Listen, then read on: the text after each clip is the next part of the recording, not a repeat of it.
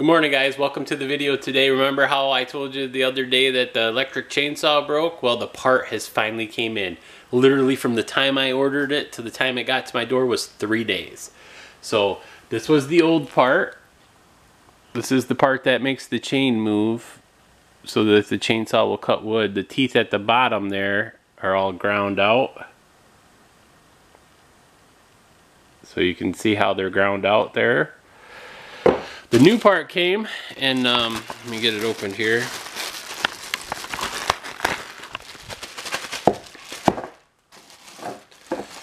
So this is the new part. The teeth on this part are actually super nice.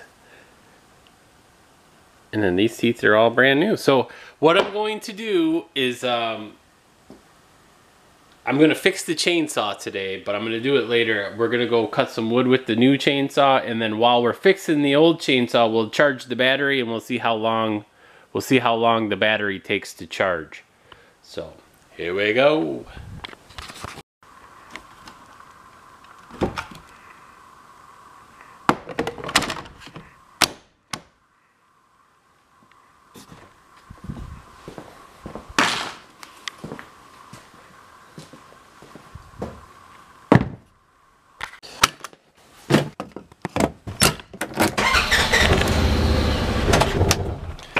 Alright guys, so I don't know if you can tell from the last video, but I am not a professional with the chainsaw. So we're to get some more practice today before I make a how-to chainsaw video.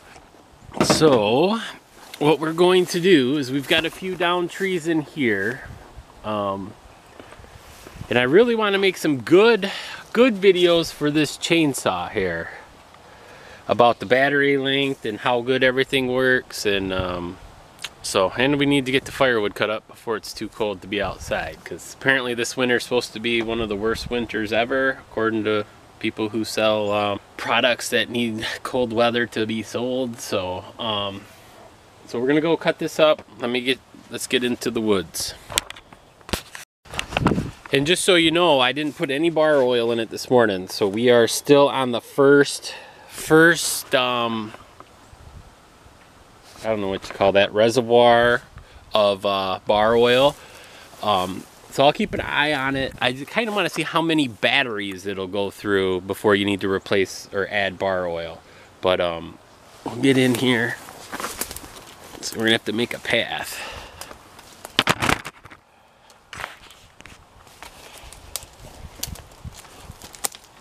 So then you just turn it on, light lights up, make sure the brake is off. So then make sure the brake is off. And, well, that just turned it on, so you want to make sure the brake is off. And then you push this button, and then it cuts. And I don't know if I said it enough times in the video the other day, but I am so impressed with this chainsaw. I absolutely love it.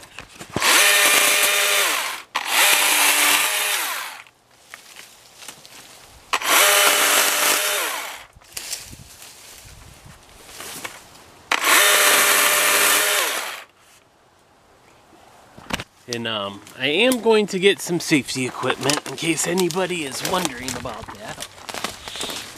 All right, so look, we got a bunch of we got a bunch of down trees here, so I'm gonna try to cut them up. I mean, there's a whole bunch of down stuff. But what we would like is to have a path all the way through here, straight down, so we could drive the four-wheelers through it.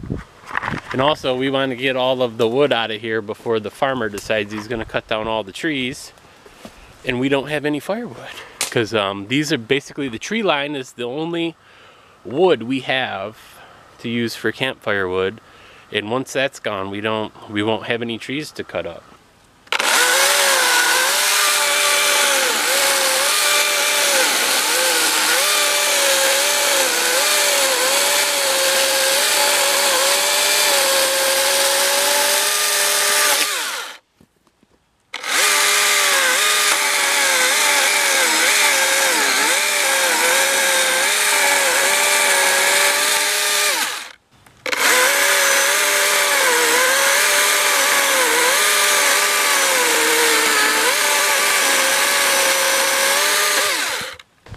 so we got our first battery done. This is what we got cut up in the woods. It's just one row this time. I'm not sure if it's because there was uh, all of the logs were bigger. Like the last time I had a couple small logs and I did have to cut up some pretty good sized ones. But um, regardless, it's still more wood than you want to have to carry out of the woods. We got the battery charging right now. Maybe we'll be lucky and by the time we get up there, it'll be fully charged and we can get back at it. And this time we're gonna add some bar oil. And uh, if the battery's not charged, we're gonna fix the other chainsaw. But as you can see, we're getting a pretty good stockpile of wood so that we can split it up and let it dry out for next summer for the campfires. Um, I don't know how many of you guys have got one of these, but um, if you've never seen it, what it is, is it's a kindling cracker. You're supposed to be able to take your firewood and split it up and uh, make kindling out of it so it's easy to start fires. But um, honestly, I use it as a wood splitter. So as long as your piece is not bigger than the hole, you can put it in there. And then you just use your little sledgehammer and you can hit it.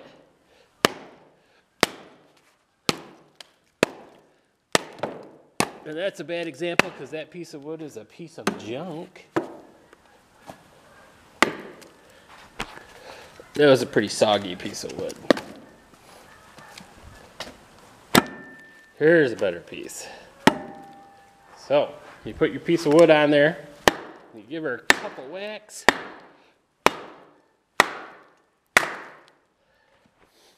And then it splits it.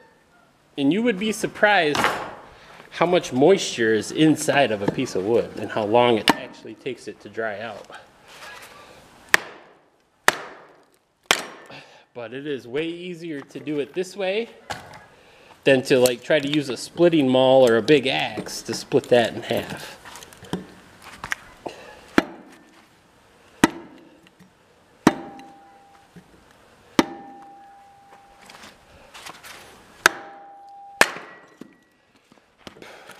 And you got a little piece of kindling and you got your log. So then you can just let it dry out. And then the next time you go to start your fire, you, you can use the little pieces of kindling to get it started and then you'll have dry firewood. All right, so let's go see if the uh, battery is charged up. It is not. So one thing I did see on the internet is the benefit of buying the bigger battery. I think it's like, I don't know if it's the 300 battery or if it I don't know what number it is, but um, they said that it would last as long as it would take to charge a battery. So basically, if you had two batteries, you could use one. When that one died, you could plug it in. You could use the other one. When that one died, you could use the other one. You know, you could keep doing it to where if you had one of those power converters, you could just charge it in your little Ranger or whatever, or your pickup truck or your car or I don't know, your Mini Cooper. Um, and um, and then you could work all the time as long as you added the bar oil and stuff. And if you're curious about how much bar oil is left, so we went through two batteries and there's still what appears to be about half to two thirds of the window left. I'm gonna add it this time just because I don't want to run out and ruin my saw. But uh, but we are gonna put the pieces into the other chainsaw. Let me get the lights on. So let me set this up. We can put it back together. It was kind of a bugger. All right, well, we fixed the chainsaw. If you want to see the whole chainsaw video, um, click the link in the description or at the end of the video. But um, our battery is only two bars. It's blinking on two bars, so we got some other stuff we need to do while we wait for it to charge. That's where it would be handy to have two batteries or to be able to, um, this is this is the other reason I wanted to fix this chainsaw because my plan is is if I can use this out in the woods to cut up the pieces into like say six to eight foot pieces I can haul them to the barn and then I can use this chainsaw to cut them into short pieces while the battery charges. All right well it's after lunch and our battery is fully charged. So we're gonna get back at it. First we got to put some bar oil in our chainsaw. So if you want to see how to do that click the link at the top of the screen here and you can um, see how we do that all right, so now that we got the bar oil put in it, let's load it up in the Ranger. And let's finish cutting these trees up. Oh, better grab the coffee. And in case you're wondering, the goal of uh, this whole wood cutting thing is is to keep the farmer happy so he doesn't cut down all of these trees. And then um, they kind of make like a border around our property, but um, it also makes it so it's real private because like you cut this down, it's just miles and miles of farmland. So, um, and you would be able to see the road. It makes it a little more private back here. Um, so we have a little private field. So, so that's the goal. And then also we want to have enough firewood so that we don't have to buy campfire wood for when we want to have little bonfires. Because we don't have very many trees besides this row of trees on our property. We got a couple dead trees we can cut down, which I'll show you those in a little bit on the way back up. But um, yeah, we just want to keep the farmer happy so he doesn't cut down all of these trees. So here we are, these trees, as you can see, fell out into his field and then there was another big one down there a little ways that we've started to cut up and um, so I'm going to cut all these all these trees up right here and then we'll put them in the back of the Ranger. Hopefully we'll be able to make it through all of this wood before the battery dies again.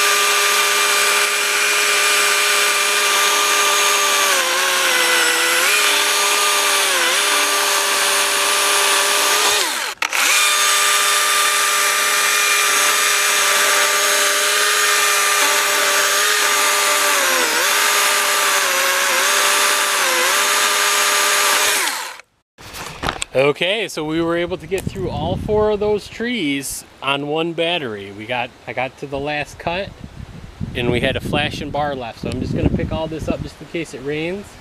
But I mean, that's quite a bit of wood for one battery charge.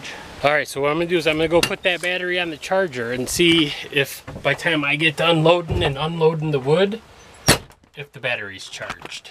All right, so it is 145 right now and we'll see what time it is when we get done hauling the wood. All right guys, so this is what we've got for wood that we cut up on the third third charge of the battery. So all of this is full and it's it's this high, so it's about two feet high across the back of the Ranger. And it's pretty good size wood. I mean, look at that, that's pretty good size. So the plan is, is that if I can cut logs this size, I should be able to cut quite a few pieces and then um, I can haul them to the barn and then I can cut them up with the electric chainsaw. So, I mean, that's the plan. As you can see, we got a lot of trees we need to cut down. So if I can cut them in four or five foot sections, load them in here, then haul them to the woods, it, it should work out pretty good because then that way I can cut this up while the battery's charging during the hauling and cutting up process. Right, well it is 2.02, so it took us about 17 minutes to load that wood up. Now we gotta unload it. And then just in case you think this is boring, one reason you should stick around is eventually we're gonna make a video where we cut where we cut that tree down right there, this pine tree right, the dead one, that's right here. We're gonna cut this pine tree down and uh, or should I say, we're gonna fell it with our electric chainsaw. And then also we're gonna try to cut this big, this big oak tree down, which is like, I don't know, I think it's like three foot across. That I probably should do for a professional, but um, just so we can prove what this chainsaw can do, I think we should at least try to chop it down or saw it down with the battery powered chainsaw. And if it goes bad, well, hopefully it'll get a lot of views. All right, well it's 2.17, so it's been about a half hour. Let's go check the battery. What do you think? Oh, we're at one and a half bars, so it's been about 30 minutes. Looks like we gotta find something else to do before we can cut some more wood. Well, good thing is, is we still have some wood that we cut up when we first moved here that we need to uh, haul out of the weeds. We've been letting all the ants get out of it. So we'll just load that up real quick and put it in the in the barn before it gets too wet.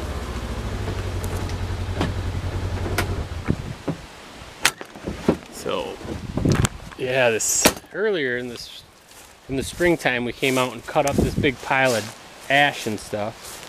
And uh, so we'll just take and pick up the little pieces, put it in the barn, and then as we get time we will take and um, split it. And we really only have like one, I think like four more big logs, so I may haul those a little closer so I can cut them up with the electric chainsaw and not have to run the extension cord all the way over there by the pool. But ideally I would like to get this all cleared out so that we can put some kind of either put apple trees over here or um, just get something else growing instead of all these picker bushes. All right, so we got it loaded up. And uh, basically this is all the wood that we got from all those trees that were laying over there. So we got about three rows. And ideally, if we can split it up, I mean, that's quite a bit of firewood that we'll have for our campfires. All right, so we got it all loaded up. Hopefully it'll dry out. As you can see, it's a little wet. All right, so it's 2.39. It's almost been an hour. So we'll see how close it is to being fully charged. Grab Amelia's DS she left in here the other day. Grab my coffee. All right, so like I said, it's been almost an hour. And we are real close to being done. So the last bar is blinking. So that means we're getting close. But that it was the second and third charge of the battery. So if you would like to see um, the first charge, how much wood we cut up with the very first charge, you can uh, click this video right here. If you want to see more chainsaw videos to see if you want to purchase one of these, you can click over here in the sidebar. And then also if you want to purchase one of these and you've already made your mind up, there's a link down in the description below that you can get one on Amazon and they'll mail it right to your house and you can start cutting with your battery powered chainsaw. Thanks for watching. Oh yeah, and don't forget, don't leave your keys in your Ranger because there's people out there that'll steal it.